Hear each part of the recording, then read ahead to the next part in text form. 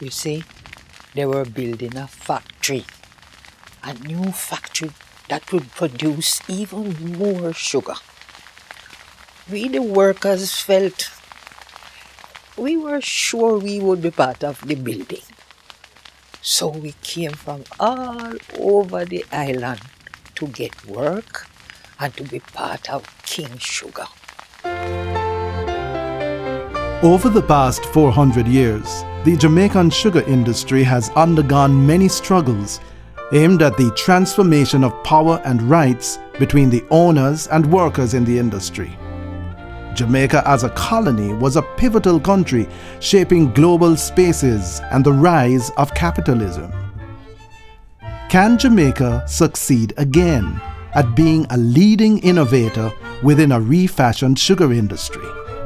Can it create its new opportunities in the midst of a turbulent global environment?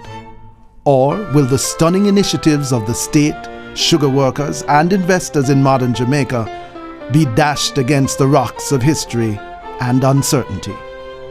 This is the story of sugarcane.